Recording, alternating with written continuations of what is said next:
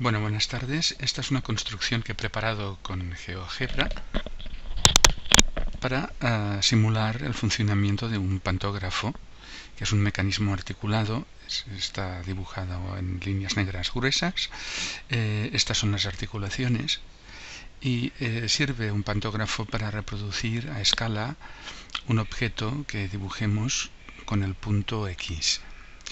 Bien, pues ahora vamos a dibujar, por ejemplo, un árbol. Y fijémonos. Bueno, se escapa un poco de aquí.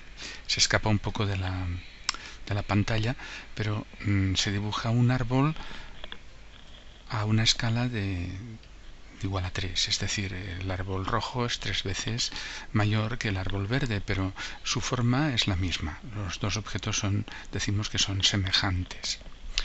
Bien, vamos a volver a actualizarlo para dibujar otro dibujito, por ejemplo. Vamos a dibujar ahora una casa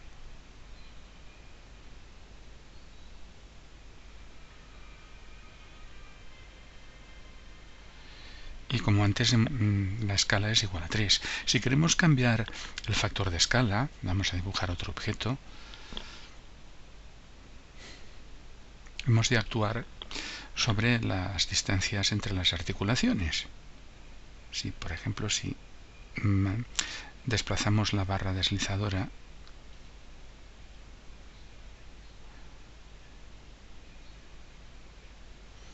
vemos que el factor de, escala, la razón de homotecia va cambiando también. Bueno, ahora estoy pintando en rojo porque puedo desactivarlo. Si no quiero que pinte, pues la punta trazadora no la va a pintar. Bueno, vamos a actualizarlo una vez más para, que, para borrar el trazo rojo que no quería que se realizara. Así se activa y se desactiva. Vamos a activarlo, ahora trazará y ahora vamos a dibujar pues otro objeto, por ejemplo, escala, un momentito, vamos a cambiar el factor de escala. Se puede también cambiar el factor de escala actuando sobre la otra la otra, la otra distancia de la articulación. Bueno, vamos a activar el trazador y dibujemos un triángulo por ejemplo, este triángulo, el triángulo verde, es una, el triángulo rojo es 1,53 veces eh, mayor que el triángulo verde, es decir, cada uno de los lados tiene una longitud 1,53 veces la longitud del, del lado correspondiente en el triángulo verde. ¿vale? Bueno, ya, mm, os invito a que interaccionéis con esa construcción que,